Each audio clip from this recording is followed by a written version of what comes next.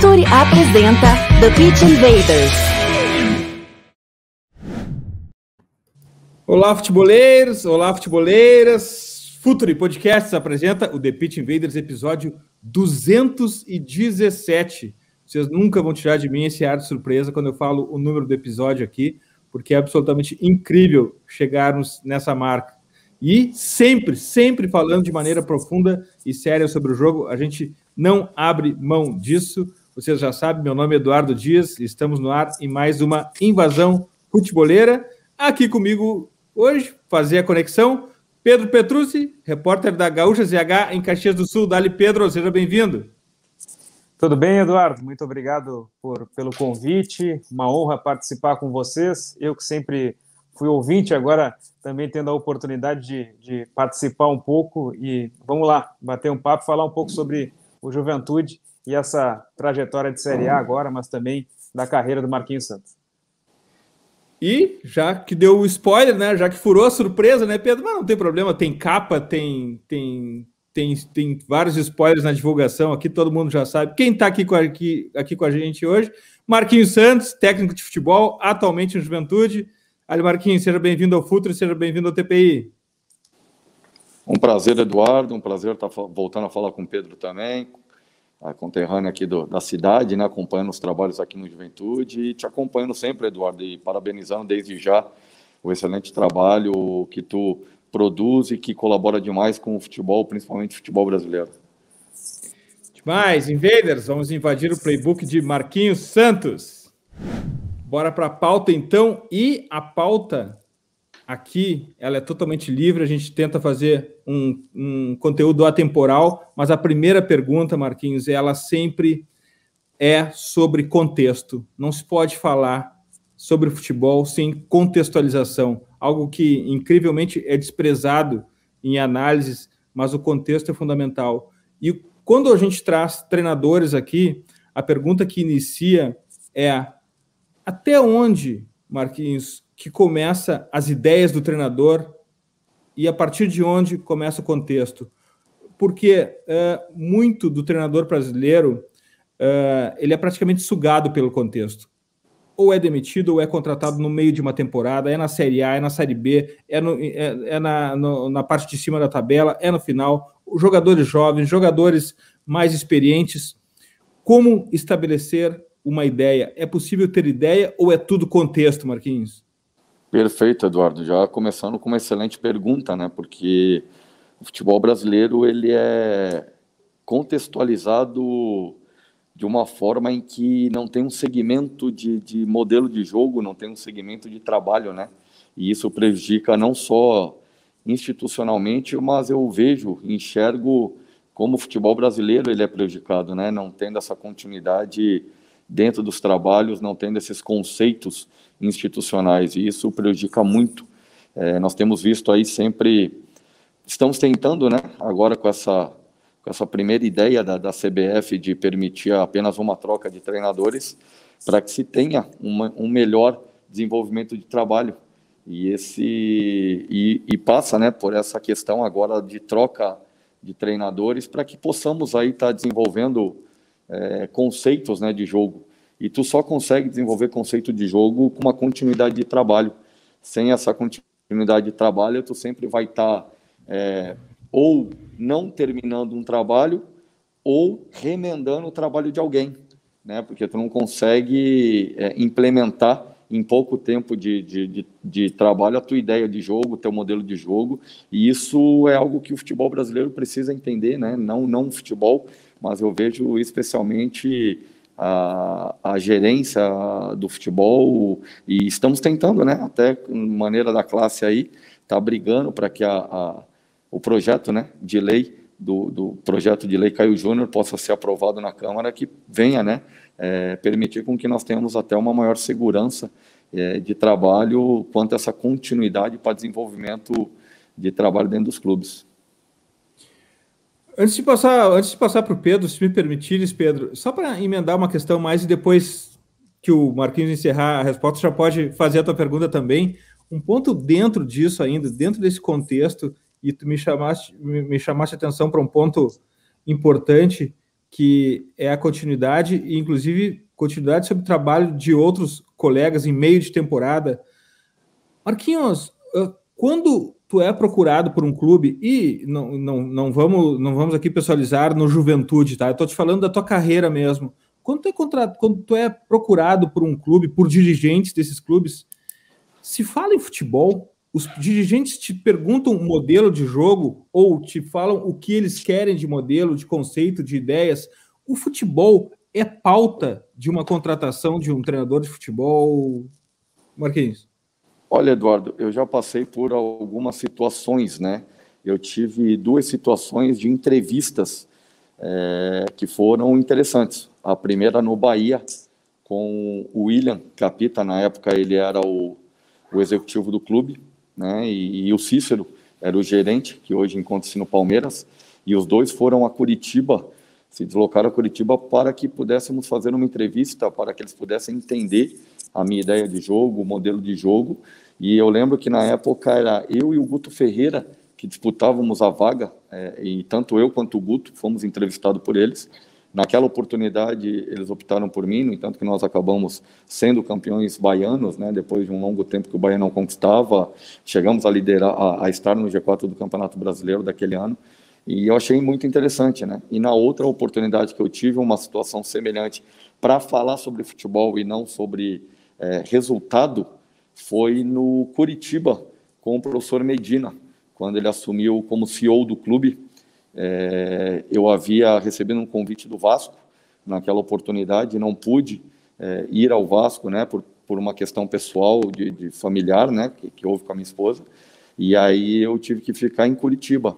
E eu acabei me desligando do Curitiba. E quando eu me desliguei do Curitiba, é, que nós também conseguimos a permanência do Curitiba naquele ano na Série A, no ano seguinte, o, o, Medina assumiu como CEO e eu não estava mais como profissional do Curitiba, como treinador. E ele me convidou para um café, é, batemos um papo e aí ele, ele fez uma entrevista, né, perguntando sobre o modelo de jogo, perguntando sobre minhas ideias é, da parte tática de jogo, e eu achei interessante. E, e não podendo sair de Curitiba, eu assumi o, o desafio de dar continuidade naquela temporada com o Curitiba, pela, e especialmente pela maneira como ele tratou o assunto, pela maneira como Medina é, fez né, a entrevista e me convenceu dentro de um planejamento, dentro de, uma, de um modelo de trabalho, uma ideia de jogo. É, eu achei muito interessante foi muito promissor, foi muito positivo o desenvolvimento de trabalho durante a temporada e foram duas maneiras que me chamaram muita atenção e que foram muito positivas, né? É, as demais contratações se deram muito em função de resultado, essa é a verdade né? ou para buscar o, o, algo a mais, ou para que pudesse tirar do algo a menos, né? de, de onde se encontrava a instituição. Mas essas duas aí foram interessantes e foram trabalhos aí muito sólidos e que ao, ao, ao, longo do processo demonstrou de que eles estavam corretos, porque ambas as equipes tiveram um desenvolvimento não só desportivamente com o resultado, mas como instituição dentro de, de, das categorias de base, desenvolvimento de trabalho, e algo que aqui no Juventude tá, eu estou começando a enxergar isso. É, em 19 já tinha um passinho dado, e agora mais firme com a chegada na Série A.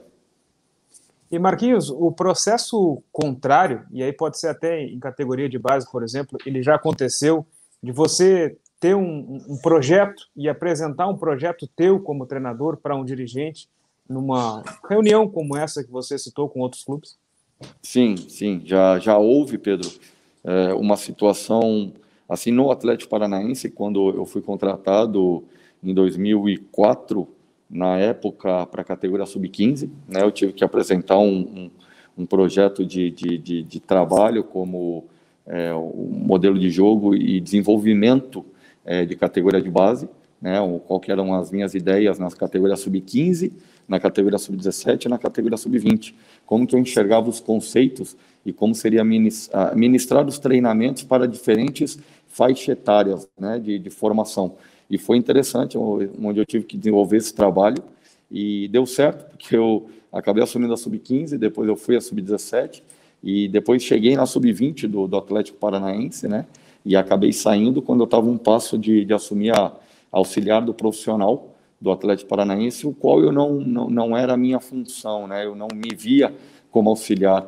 né? Eu me via como treinador, então eu achei que naquele momento eu poderia até atrapalhar o treinador que viesse assumir o cargo é, dentro do clube. Então eu preferi sair do Atlético Paranaense e aí sim recebi um convite e fui, retornei para a sub-20 do Curitiba, né? Que é onde eu fiquei dois anos e aí eu fui para a seleção brasileira e aí na seleção brasileira na CBF também, né? O Mano era o treinador do profissional o Ney Franco foi convidado para desenvolver o trabalho como coordenador e treinador do Sub-20, e ele fez o convite é, para mim, para o Emerson Ávila, na época, para que nós pudéssemos apresentar um projeto de desenvolvimento de futebol brasileiro de base. E nós montamos, preparamos, apresentamos, e a partir desse trabalho fomos contratados, efetivamente, fomos os primeiros treinadores contratados é, nas categorias de base da CBF. Então, foram também dois modelos que foram interessantes, que, que do lado da maneira contrária, a gente alcançou né, êxito aí de resultados na formação de atletas. No Atlético Paranaense, eu posso citar aqui o, o Neto, goleiro que, que jogou na seleção, na, é, no Barcelona, o Manuel Zagueiro, o Marcelo Cirino, o Lucas Claro, que começou no Atlético Paranaense e depois é, mudou-se para o Curitiba e teve a sua, a, o seu processo final de formação no Curitiba comigo mesmo. Né? Então, assim, foram atletas que nós acabamos é, é, ajudando né, a desenvolver dentro desse processo aí. João Pedro, Matheus Anjos, vários outros atletas vieram né, dentro desse desenvolvimento pelo Atlético. E no desenvolvimento de seleção brasileira, aí tem, tem, tem vários atletas aí que nós conseguimos né, é, implantar dentro da CBF um banco de dados e lá atrás um desenvolvimento de trabalho onde, é, é, por mais que fosse na categoria sub-15, é, aplicação de conceitos do profissional. Não que na sub-15 fa é, nós faríamos o mesmo desenvolvimento de treinabilidade, o mesmo desenvolvimento de conceito do profissional. Até porque são garotos que, que, que, que precisam ter um embasamento diferente, né? Eles precisam estar vivenciando é, duas a três situações dentro é, é, da base da categoria sub-15, de diferentes posições, aonde ele possa se sentir mais confortável. E na sub-17 esse atleta ele, ele passava a ter uma identidade maior com a posição, aí ele desenvolvia dentro da posição a característica da função, né? e aí na sub-20 não, na sub-20 com o Ney, entregava para o Ney, e aí o Ney sim é, trabalhava semelhante o que estava sendo realizado pelo Mano na categoria profissional da seleção brasileira. E algo que foi seguido isso ao longo dos anos, e esse desenvolvimento tem sido muito importante. Ei, Marquinhos, esse tema, esse tema da base é, é fantástico para a gente começar a entrar em campo aqui e falar mais de, mais de campo. Uh, no começo, acho que no começo desse século, teve um livro que chegou aqui no Brasil com muito sucesso, que era A Bola Não Entra Por Acaso. Meu Deus, esse livro ainda faz cabeça de muita gente até hoje. Perfeito. E naquele, naquele livro se falava muito em, em, em um padrão tático de, da base ao profissional, obviamente centralizado no modelo Barcelona, Sim. uma escola muito específica e nada voltada para o comércio de jogadores, para a venda de jogadores. Afinal de contas, eles produzem jogadores para o time principal e tudo bem, é o modelo de negócio deles. E aqui no Brasil se usa, se usa muito isso. De alguma forma, isso também não é uh, diminuir uh, uh, as possibilidades táticas de um jogador, Marquinhos, tu tentar colocar um modelo de jogo eu até concordo em estabelecer princípios, mas o modelo de jogo não é castrar muitas possibilidades de um jogador. Por exemplo, uh, o jogo de posição é um jogo muito utilizado no mundo hoje. Embora ele seja antinatural para o jogador brasileiro, me parece que é importante que ele também saiba jogar jogo de posição, porque isso também vai ser importante na carreira e, e o produto jogador vai ganhar mais valor. Qual é a tua ideia sobre uh, essa uniformização de um padrão tático da base ao profissional, Marquinhos? Eduardo, eu, eu, concordo, né? Porque eu também cometi esse erro lá atrás. É, como tu bem colocaste, né? O modelo Barcelona, ele, ele tem muito. Eu tive a oportunidade, né? Quando servia a seleção brasileira durante dois anos, de, de frequentar e, e poder observar vários é, é, centros de formações, o qual um deles foi o próprio La Masia do, do Barcelona, né? E lá o, o produto, como tu colocaste, não era um produto comercial de venda era um produto desportivo.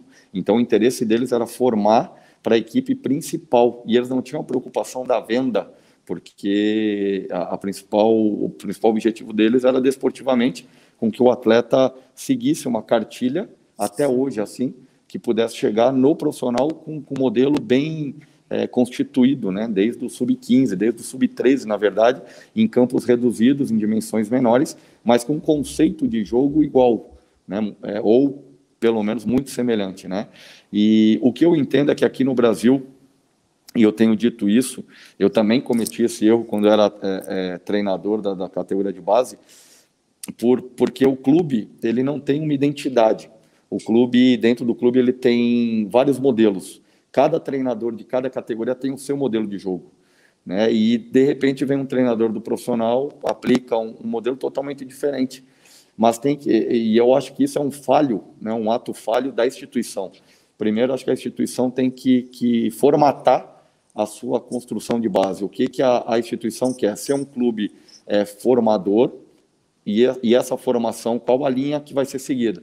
Se é uma linha é, formativa desportivamente, que vai colocar no, no, no, profissional e dali gerar uma renda, né, gerar um orçamento, ou se vai aproveitar a formação dessa base com, com característica europeia, vou dar um exemplo, coisa que no, no Atlético Paranaense nós fizemos muito lá em 2014, 2015, a pedido do Petralha, uma formação com, com padrão europeu, para que o atleta, mesmo não chegando ao profissional, ele pudesse, dentro do, dos campeonatos internacionais, ser observado como um, um possível mercado europeu né, que ele fosse um, um produto europeu. Então, acho que passa por esse modelo. Eu acredito muito de que a, a, instituição ela tem que ter, sim, uma normativa, um, um processo muito bem definido, porém, dentro das categorias, como tu colocaste, os princípios, ele tem que ser muito bem elaborado. É, no sub-15, eu, eu ainda entendo que tem que ser um jogo mais lúdico, né? por mais que se tenha aí cobranças em relação a resultados, a títulos, mas no sub-15, por mais que seja precoce a formação do atleta, principalmente brasileiro, mas ainda é muito lúdico. E, e às vezes nós temos cometido o erro de já engessar um sistema tático, a criança que é criança ainda dentro de um sistema tático e não dá criatividade para aquele atleta. Então ele se limita dentro dessa, dessa postura engessada e não, não tem a liberdade de criação. Né? Então eu vejo que até o sub-15, e eu recomendo é, até o, o menino, o atleta, é, jogar futsal, participar até o sub-12, até o sub-13 de futsal em campo reduzido, tomada de decisão rápida, né? E aí no sub-13, no sub-15 vir ao campo, vivenciar o campo. No sub-17, eu acho que o atleta tem que passar em duas, três posições diferentes para vivenciar característica de posição diferente, porque às vezes tu tem um, vou dar um exemplo aqui, o Talisca, que hoje é um atleta internacional. Eu chego no Bahia, é, sucedendo o Cristóvão, né, e converso com o Cristóvão Borges é, em relação ao elenco, em relação ao atleta, e o Cristóvão me fala, ó, Marquinhos, tem um atleta talentosíssimo, que é volante, que é o Talisca, mas não marca ninguém, né, mas é um jogador talentoso. E eu fiquei com essa informação na cabeça, né, e quando eu chego no Bahia, realmente, nos três, quatro primeiros jogos do Campeonato Baiano, Talisca como volante, a gente perde, dos quatro jogos, perde três jogos e empata um. Eu quase caí no, no quarto jogo. e o Talisca deixando um espaço ali, porque ele batia na área, não tinha força de retorno, né? E eu observando ele, eu falei, pô, tem alguma coisa que não foi muito bem implantado nesse garoto. E nós com uma dificuldade de achar um centroavante. E nos rachões, ele na, nos rachões, ele sempre como centroavante, e ele sempre despontando com um bom posicionamento de área, com um bom cabeceio, flutuando entre linhas, finalizando isso no rachão. E aí eu chamei e falei, Tarisca, tu já jogou como centroavante? Falou, professor, lá no Sub-15 eu era centroavante. E aí o, o professor me mudou, me colocou como zagueiro e volante, e até então eu tenho jogado como zagueiro e volante. E eu falei, pô, eu vou te adiantar como atacante. Ele falou, pode testar. E graças a Deus deu certo, né? Porque ele foi artilheiro do Campeonato Baiano. Antes da venda para o Benfica, ele era artilheiro do Campeonato Brasileiro, um dos destaques do, do, Campeonato Brasileiro, e ele se torna a maior venda da história do Bahia, né? Até então. Então, é isso que eu digo, assim, é, acho que essa vivência é importante até o sub-17 para que o atleta ele tenha esse, essa convivência com outras funções e se ache né, dentro das suas características. E, e na sub-20 não. Aí na sub-20 eu acho que tem que ser um, um modelo similar ao profissional para que possa essa transição é, ser menos, menos sentida, né? causar menos ruído. Então, o atleta já está preparado, uma vez que o futebol brasileiro, no meu ponto de vista, é, equipes de porte médio e baixo é, só vão so sobreviver tendo um bom, um bom desenvolvimento de trabalho de base, né, onde esses atletas vão ter que é, é, ser ancorados ao profissional com uma base sólida de formação, para que esses atletas não, não só desportivamente dê resultado ao clube, mas que seja um potencial de mercado para que o, esses clubes de porte médio e baixo possam angariar recursos com a venda futura desses atletas. E Marquinhos, no momento atual do futebol brasileiro, 2021, você percebe atletas fazendo a transição, chegando mais ao profissional, com um comprometimento tático maior e precisando de liberdade? Ou o contrário, jogadores que têm uma característica maior de drible, de velocidade, mas que precisam ter um desenvolvimento mais tático. O que, que você tem encontrado nesse estágio atual do futebol brasileiro? Pedro, eu creio que pela, pela até pela globalização né, da informação, e, e, eu, e eu vejo isso, que os profissionais hoje da base, eles estão altamente qualificados e preparados, e estão buscando muita informação e, e, e preparação. Isso não é ruim, isso é muito bom. Então, um atleta hoje, é, neste cenário, ele tem chegado com, com um argumento tático muito maior. Porém, o, aí é o inverso de 10 anos atrás. Porém, o, o, a qualidade técnica é inferior, porque a parte técnica, mesmo o trabalho analítico, que, que é tão criticado, mas que às vezes nós aqui no profissional nós temos que aplicar no atleta profissional, porque ele chega com gesto é, é, inferior, né, não correto em determinados fundamentos, cruzamento, finalização, cabeceio, onde, de, onde deveria ter sido trabalhado lá atrás na sua iniciação, sub-15, por exemplo, sub-17. E às vezes nessas categorias está muito enraizado a parte tática, é muito preocupado, e aí é, é culpa nossa, de todos nós, porque eu sei, porque passei por isso também. É, a cobrança em função do resultado ela é muito forte, principalmente nos grandes clubes, por resultado. E às vezes o treinador ele opta pelo trabalho mais específico da parte tática e até a escolha, a seleção, ela muitas das vezes ela não é nem pela questão técnica, ela é, passa pela questão física, de biotipia de atleta. E isso interfere diretamente na formação dos nossos jogadores para o nosso mercado brasileiro interno. Eu tô, eu tô louco para a gente começar a falar de, de tática pura de diante de campo, mas sempre surgem os assuntos que vão me atropelando aqui, eu, eu, também vou ficar um pouco mais no vestiário, porque talvez os jogadores dos anos 80, 90, começo desse século não tivessem muita diferença uh, de ideias, de pensamento, mas agora chega no vestiário, Marquinhos, um jogador que foi criado na era digital, já nasceu, na, já é nativo digital, é um tipo de comunicação completamente diferente. Uh, ele foi criado uh, com um conteúdo completamente diferente. A forma de se relacionar através de smartphones, telefones é completamente diferente. Como é que é lidar com esse jogador nativo digital que começa a chegar nos vestiários agora, começa a fazer parte dos elencos principais? Qual é a ferramenta de comunicação? Como é que tu lida com isso e trabalha com esses jogadores e essa diferença de comunicação entre os jogadores mais experientes de, uma, de um outro planeta, de um outro universo analógico e agora desse jogador nativo digital. Isso é um ponto bastante sensível do vestiário, né, Marquinhos?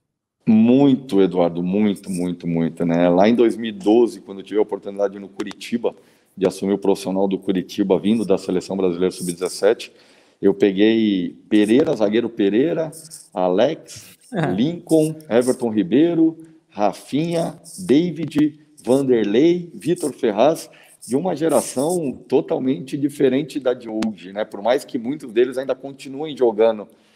Porém, eu lembro que numa primeira preleção que eu fiz, no jogo contra o Flamengo, na minha estreia, é, eu vim com uma palestra tática e usando o Tactical Pad, na época iniciando Sim. o Tactical Pad, e da Clansoft, do pessoal do Fernando, do pessoal, e a gente ajudou a desenvolver esse software né, com eles lá. E poucos tinham. E quando eu coloquei, foi algo que chamou muita, muita atenção dos atletas, né? Eles não tinham essa, essa ideia, essa visualização do, do, do, desse projeto, desse mecanismo, né? Então, algo que surpreendeu e foi muito positivo. E aí, claro que, que muitos se interessaram hoje, o próprio Alex no São Paulo Sub-20, um amigo, é, até a gente troca ideia em relação a isso, né? E ele tem usado muito também. E hoje não, na verdade, hoje o vestiário ele mudou muito. É, vou, vou, vou, vou, relatar um exemplo que houve aqui no próprio Juventude. Aqui nós temos uma mescla, mas uma equipe muito jovem, principalmente muito jovem. E, e depois de um jogo, depois de uma de um, de um, final de um jogo, depois do fechamento, nós ganhamos o jogo é, dentro do estadual. E, e eu saí do, do, do, da minha sala é, aqui no Alfredo Giacone e fui ali para o vestiário.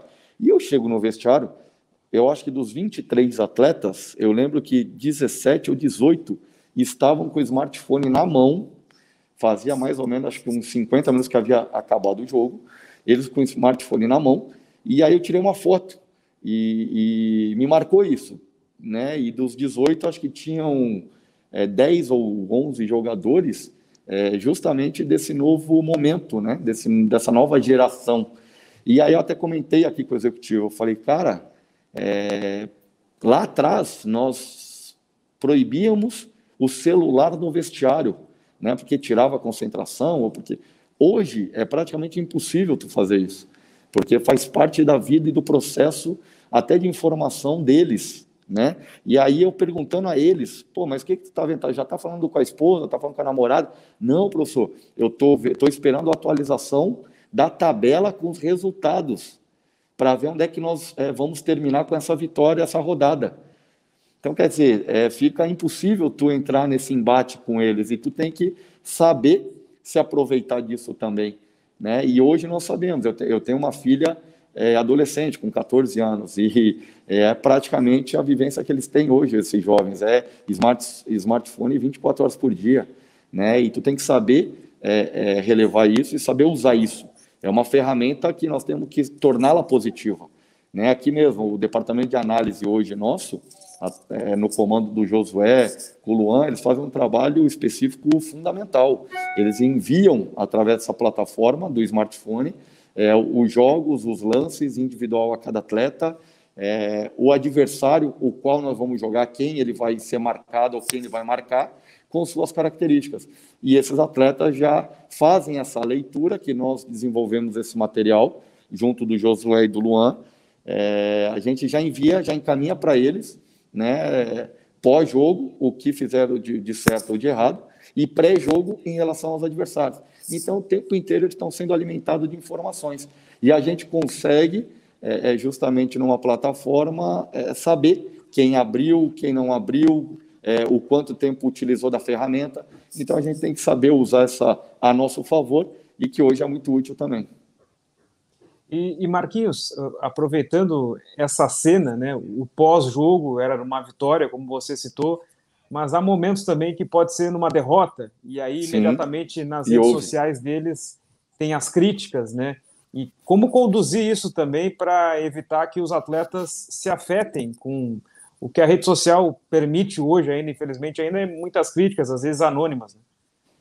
Perfeito, Pedro. E, e, tem que saber lidar, né? Porque eu, ainda mais nesse momento pandêmico, qual vivemos, em que o torcedor ele não, não pode vir ao estádio, e, e, o que eu vejo com, com a torcida presente no estádio, essas críticas geravam em torno de 30%, 40% na rede social. Uma vez que eles não estão mais no estádio, ela subiu para 80%, 90%, porque o torcedor, muitas das vezes que vinha ao estádio, ele fazia um manifesto, mas era um manifesto ali que às vezes ele trazia é, do serviço, de casa, alguma situação pessoal, então ele manifestava ali, deixava ali mesmo. Né? E quando saía do estádio, ele já aliviava. Hoje não, ele está recluso é, em sua casa, né, pelo momento de, de, de, pandemia, e não consegue vir ao estádio, não consegue ali esbravejar ou elogiar, e usa as redes sociais. E como tu colocaste, só que muitas das vezes é, torna-se mal intencionada, né? Porque a pessoa ela não, não ela também não se pronuncia é, sendo ela, né? Usa um codinome, usa um outro, uma outra situação, e isso não é positivo. Então, nós temos que saber administrar, saber conduzir o elenco para esse cenário também, porque hoje é a realidade virtual, né? é a nossa realidade.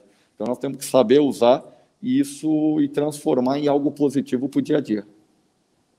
Agora a gente vai fazer um water break aqui, vamos fazer um comercial de um minuto, um minuto e meio, e a gente volta. E eu prometo que eu vou levar o Marquinhos para dentro do campo para a gente falar de tática. Fala, futeboleiros, tudo bem? Eu espero que vocês estejam gostando do episódio de hoje. Mas antes de seguirmos com esse bate-papo, eu quero fazer um convite para vocês. Se você quiser receber conteúdo exclusivo no site, ter acesso às matérias fechadas, vai lá na aba Club, faça parte do Futuri Club por apenas R$ 12 mensais ou até mesmo em planos semestrais com desconto ou até mesmo anuais você ainda vai ter direito a desconto nos cursos do Futuro. Então, fique ligado. Além disso, eu quero lembrar para vocês que esse episódio também tem o apoio do Futuri Pro, o departamento de análise e mercado do Futuri. Seu time gasta menos dinheiro e ganha mais jogos. Para mais informações, mande um e-mail para comercial@futuri.com.br. A gente voltou e eu vou cumprir a minha promessa aqui. Eu vou levar o Marquinhos para dentro de campo para a gente falar sobre tática.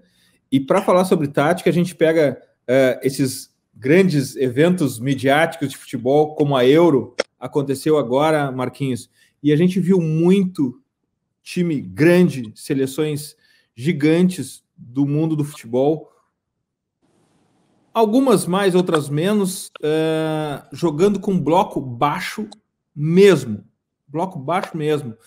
Aqui no Brasil, a gente sempre tem aquela, aquela cultura enraizada de que é só os times pequenos que jogam em bloco baixo, mas aparentemente a gente vai ver numa próxima temporada muito time grande da Europa também usando a bloco baixo, não só circunstancialmente, mas como ideia de defesa. Sumir os, os, os espaços é praticamente uma linha de handebol à frente da área, ou duas linhas de handebol à frente da área. O que que tu, o que que tu tira dessas impressões de, de linha de defesa na Euro e essa, e essa nova abordagem do bloco baixo, Marquinhos? Eduardo, muito bem colocado, né? Uma tendência, e como no futebol são, são, são tendências cíclicas, né? E me parece que a Euro tem mostrado isso, de que está retornando é, a estrutura com uma linha de cinco né, usada principalmente no Murici, que foi uma escola é, em que o São Paulo praticamente ganhou quase tudo na época do Murici, com, essa, com esses três zagueiros. Claro que um modelo um pouco diferente, né, na, na Euro nos mostrou esse, essa tendência né, dessa linha de cinco, bloco baixo, jogo de transição, né, muito pouco jogo de posse. É, só, só está confirmando de que nem sempre quem tem a maior, pá, a maior posse conquista o resultado positivo, né?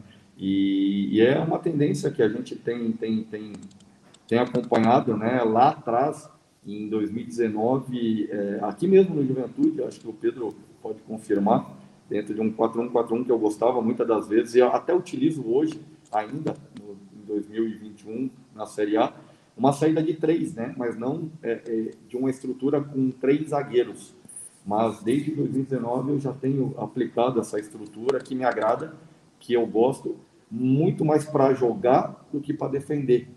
Né? Porém, a Euro tem nos mostrado de que os espaços é, defensivos estão sendo muito mais preenchidos de uma maneira, é, é, geometricamente falando, muito mais compactado do que há três anos atrás. Né? Então, nós estamos falando um espaço curtíssimo de tempo que o futebol tem evoluído para uma tendência é, cada vez mais de atletas com biotipia e fisiologia muito mais desenvolvimento físico do que e, e, também cognitivamente, né? Porque tem que ter um trabalho muito específico de desenvolvimento de jogo quando não tem a bola e quando a tem para que possa ter essa conclusão com o menor tempo possível no gol do adversário e reconstruir suas linhas do que no jogo apoiado ou no jogo posicional, de ataque posicional, que o Barcelona, que o futebol da Espanha, né, é, em especial, tem muito bem desenvolvido.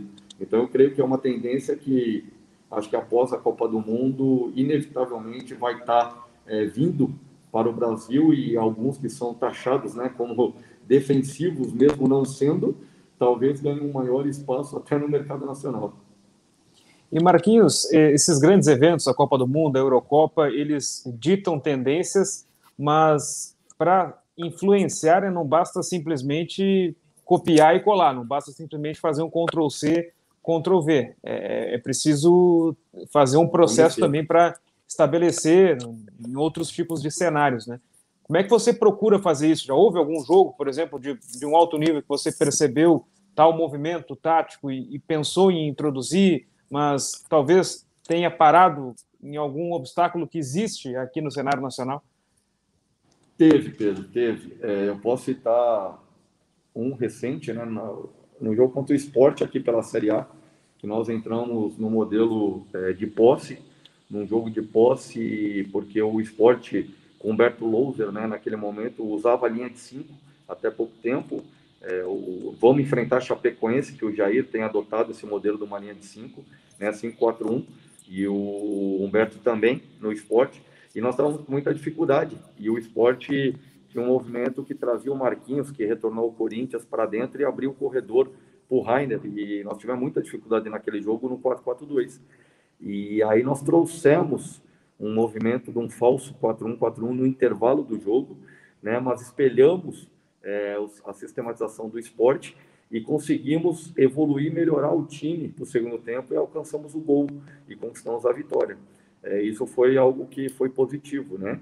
Agora, negativamente falando, de uma maneira mais negativa, foi o jogo é, é, que nós tivemos no campeonato estadual contra o Inter no primeiro jogo do estadual, né? Algo que eu tentei mudar o modelo, em que eu apliquei, é, tentei aplicar uma, uma situação de construção de modelo europeu é, é, achando que fosse o Miguel Angel para espelhar o modelo de jogo de ataque posicional e não funcionou e acabamos saindo derrotado para o time sub-23 do Inter. Então eu falei um, um, um, positivo e um negativo nesse cenário do juventude que atuamos. E essa, e essa questão da, da posse de bola, eu entendo que posse de bola por si só acaba sendo uma mera métrica de vaidade, né? Porque ela sequer explica o controle do jogo. Porque a gente vê nas transmissões, né? O time teve tanto posse de bola em relação ao outro. Sequer o controle de jogo, porque o, a, o jogo pode ser. O controle pode ser pelo espaço e não pela bola também. Mas essa questão, só voltando no bloco, no bloco baixo, Marquinhos, o, o, o contrário do bloco baixo, atacar um bloco baixo, faz também com que apareçam outros camisas 10 no time, né? O volante tem que ser o camisa de 10, afinal de contas, é quem tem espaço. E como aconteceu na Eurocopa, até zagueiros Zagueiro. centrais precisam criar o jogo. É uma é um skill, uma habilidade de um jogador uh, que o jogador precisa desenvolver, né? Não basta mais ser só o defensor, é preciso o jogador precisa ficar mais completo, né, Marquinhos? Muito, muito embora também por outro lado, o jogador tem sido criado, desenvolvido para ser cada vez mais específico no jogo, né? Então, eu, eu caio numa contradição aqui, mas é que o jogo exige uma, uma, uma, amplitude de qualidade maior, mas ao mesmo tempo o mercado exige especificidade maior, né? Exatamente, Eduardo. Ele é essa essa parte tática ela é complexa mesmo, né? Porque vamos vamos imaginar aqui, tu tem que abrir um cadeado, né? E tu tem 10 chaves. Tu tem que tentar descobrir qual que é a chave certa para abrir aquele cadeado, taticamente falando. Perfeito. E aí nem sempre é, é, aquele jogador é a chavinha que vai encaixar, né? Mas tu tem que desenvolver aquela chavinha. De repente só tem aquela chavinha. Então tu vai ter que ir para o esmeril, tu vai ter que lapidar ela, tu vai ter que preparar ela para que ela sirva naquele cadeado. E, e quando tu não tem um orçamento, né, onde tu possa ir ao mercado e escolher a dedo, ó, eu quero esse que encaixa no modelo de jogo, eu quero aquele que encaixa no modelo de jogo, ou aquele com característica diferente para aquele momento do jogo que eu possa colocá-lo para que ele mude o jogo. E aí tu tem que ter criatividade, né, achar essas chavinhas para abrir esses cadeados e passa por esse justamente por essa situação, né, onde tu tem que aqui hoje o Juventude nós temos zagueiros construtores. Tanto o Vitor Mendes como o Foster são zagueiros que têm a construção né, muito bem é, definida. Então, nós temos uma primeira fase de construção boa, entra numa segunda fase de construção boa, e quando se tem a necessidade, até o Foster O Vitor um pouco menos, por uma questão até de é, é, confiança, por ser um atleta jovem, participar na primeira vez na Série A. Então ele cria uma certa, é, um certo, ele acha que é um certo risco, né? O jogo apoiado, ele entrando no, no campo do adversário para fazer essa, essa construção, até mesmo no último terço. O Foster com, com, com mais tendência, até pela experiência, né? até pela vivência, e ele entra no último terço, às vezes no estadual aconteceu isso, ele sendo o nosso construtor pelo lado esquerdo do campo, né? Onde muitas das vezes eu trazia o Eltinho ou o Alisson afundando lá na última linha adversária, justamente para abrir, passar a linha do adversário ou dar profundidade de campo. E o Foster era o cara que vinha de trás com a bola para ter essa construção de jogo apoiado. Então é justamente isso, Eduardo. É uma complexidade que a parte tática ela nós, como treinador, tem que estar muito bem embasado e o atleta tem que ter um entendimento né, muito bom cognitivo para saber desenvolver as fases do jogo como tu colocou. Né? E nós, como não temos esse orçamento aí ao mercado e captar aquele jogador dentro do teu modelo, tu tem que criar dentro de casa, né? Coisa que aconteceu aqui é, com o Sorriso, né? Um menino que, que pouco era conhecido até mesmo internamente, e que desde 2019, na minha primeira passagem aqui, eu já via um potencial nele, né? E ele evoluiu e hoje ele está muito mais preparado para jogar o profissional e tem nos ajudado muito nessas campanhas. Marquinhos, indo nessa situação que você citou do Vitor Mendes, mas eu imagino que ainda possa acontecer com outros atletas também. Essa questão de não ter tanta confiança para fazer um jogo mais curto, um passe, Vem muito também, talvez, da, da questão cultural de, não, o zagueiro ele tem que dar o chutão, o zagueiro não arrisca, faz o simples. Pedro, eu, eu acho que não. Como eu falei anteriormente, hoje os profissionais da base, eles estão, eles têm, têm feito uma formatação é, é, desses atletas aí é, muito bem, muito, muito bem e muito bom, né? melhor dizendo. É, eu creio que seja mais do, do ímpeto do jogador ou da característica do jogador. Eu vou te dar um exemplo assim. É, hoje o Juventude tem muitos atletas que estão jogando uma primeira Série A.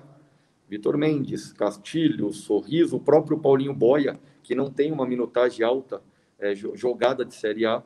É, vou te dar o próprio Peixoto, né, o Vitor Mendes, eu já falei, e nós temos aí alguns atletas que não têm uma minutagem alta de Série A. E isso acaba interferindo é, dentro dessa confiança. Então, aos poucos, com os resultados positivos, com a posição na tabela, tudo isso é influenciável para que o atleta crie né, essa confiança, até para que ele possa se soltar durante as partidas. E, claro, passa por nós também, é, é importante passar essa confiança. Né? E é algo que eu gosto é, de, de, ter esses atletas jovens e passar confiança para que eles possam desenvolver. Né? E por isso, hoje, no nosso time, nós temos o Castilho e o Vitor Mendes, dois atletas jovens, é, a primeira participação em Série A e são os dois atletas que mais receberam cartão dentro das três rodadas de Série A. Então não é à toa, tudo tem o porquê, né? E o acaso do porquê que tem acontecido as coisas.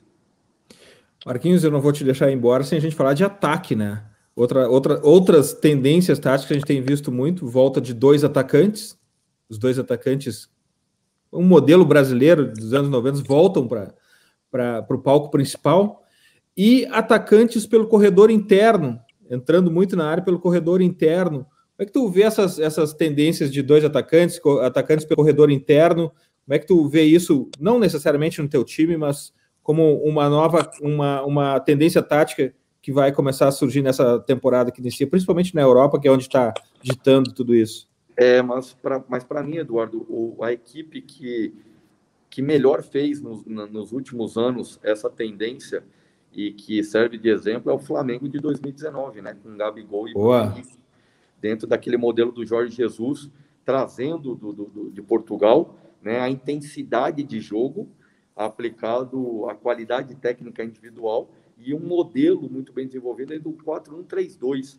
Né? Eu tive a oportunidade de enfrentá-lo pela Chapecoense e fiquei absurdamente assim abismado com o que eu estava vivenciando, o quanto foi rico né? Por mais que perdemos aquela partida por 1 a 0 na Arena Chapecó, ainda bem que foi só 1 a 0 porque foi um atropelo.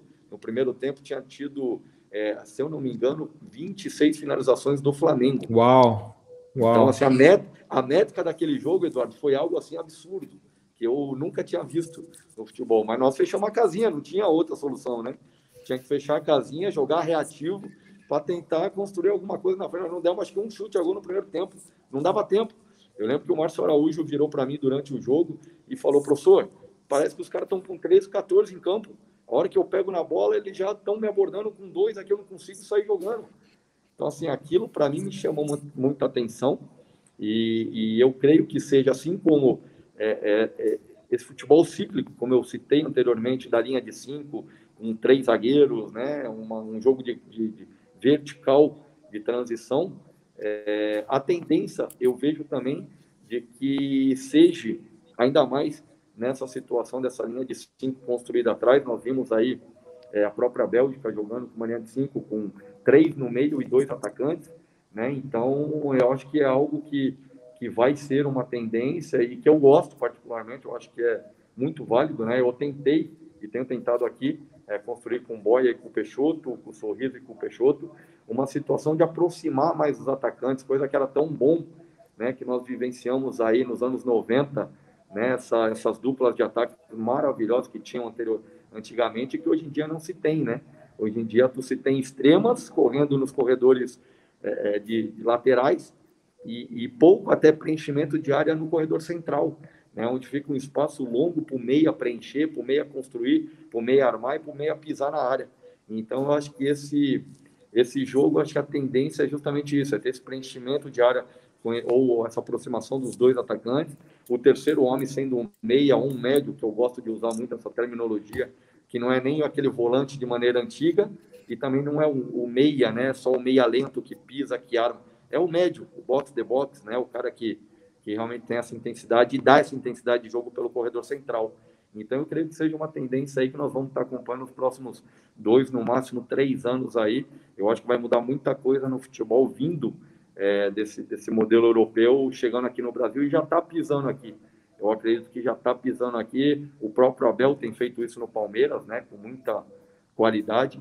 E eu creio que nós brasileiros também já estamos seguindo esse caminho, sem dúvida nenhuma. Bom, Marquinhos, foi um prazer falar contigo. E, e, quando começa a entrar dentro de campo, e a gente começa a falar de tática, a gente pode falar por horas e horas aqui. Mas tem uma coisa que a gente nunca pode adiar aqui, que são as nossas dicas futeboleiras. E a minha dica futeboleira dessa semana é uma matéria do jornal português Record, que conta a história de um jovem jogador, Roger. E ela é contada pelo treinador Carlos Carvalhal, que trata um ponto que a gente aborda muito aqui no TPI e também no, no em todo o conteúdo do Futuro, que é o interesse dos novos jogadores por assistir jogos de futebol. Só que nesse caso interesse ou falta de interesse, né? Só que nesse caso do Roger no Braga, o final é surpreendente exatamente pela postura do, do jogador e pelo interesse em assistir os jogos do seu clube. Uh, esse, essa matéria do jornal Record e todas as nossas dicas futeboleiras, os links estão no post de divulgação, de divulgação do podcast no futuri.com.br. Pedro, tua dica futeboleira? É, Eduardo, eu vou falar sobre o texto que eu li do PVC essa semana, falando sobre a nova classe média do futebol brasileiro e essa transformação que o futebol vem passando. Ele faz uma reflexão sobre as quedas, principalmente administrativas, de Botafogo e Cruzeiro, e o crescimento de Ceará e Fortaleza, por exemplo, principalmente pela organização que esses clubes vêm tendo. A minha dica futeboleira, então, é a nova classe média do futebol brasileiro um texto do, do PVC no Globoesporte.com. Boa, e eu tenho um mantra aqui, Pedro, que é o seguinte: a gente está na década onde vai haver a maior mudança esportiva e financeira na ordem de grandeza dos clubes no Brasil.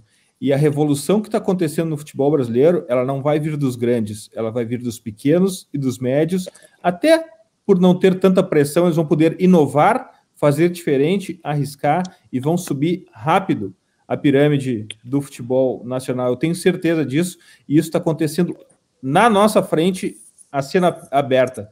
Pedro, muito obrigado pela tua presença aqui. Volto sempre.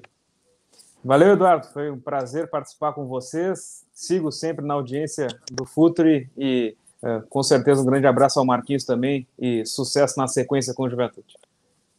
Marquinhos Santos, tua, tua dica futeboleira? Eduardo, é, eu sigo a linha do Pedro, eu também gostei muito desse texto do PVC, mas é, eu in, in, coloco aqui também o Sunderland, um, um, que, eu, que eu gostei muito, né? É uma série aí da Netflix que, que eu acho que vale a pena estar tá assistindo, né? Táticas ofensivas seria a minha literatura que, que eu estou vendo agora do Klopp, do, é, é bacana, eu acho que é, é uma inovação de que tem acontecido e passa muito do que nós comentamos aqui.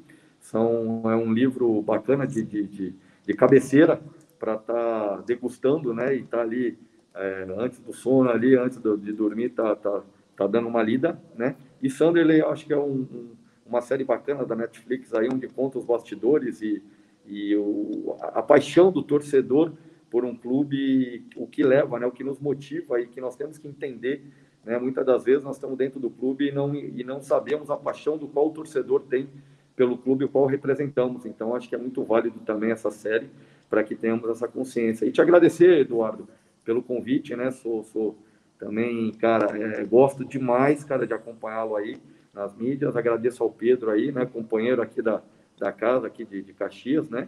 E me coloco à disposição aí quando for é, preciso. É sempre bom estar falando sobre futebol e sobre conceito de jogo, conceito do futebol brasileiro é, é sempre válido. Que demais, Marquinhos. Muitíssimo obrigado.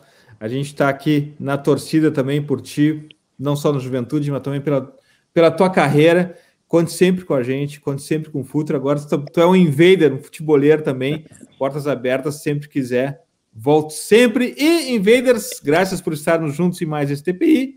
Futeboleiras, futeboleiros, nós somos o Futuri e temos um convite para vocês. Pense o jogo. Abraço e até a próxima invasão The Pitch Invaders. Futuri apresentou The Pitch Invaders.